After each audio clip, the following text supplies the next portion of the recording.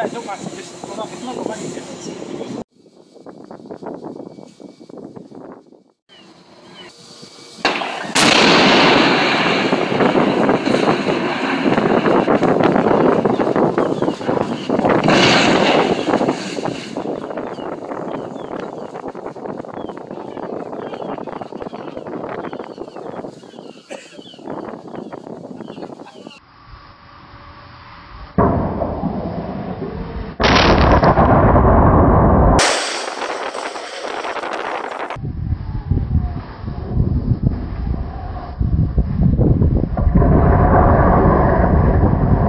Having my finger on that button felt pretty powerful, and then when it when it went off and uh, it really came down, you sort of feel on top of the world a bit.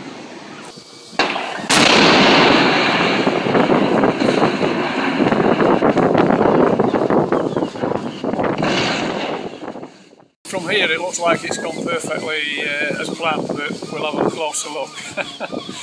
um, yeah, I mean obviously a lot of thought, a lot of planning goes into this and it does look like it's gone very well. Uh, now to all the debris from site in a, in a manageable way now.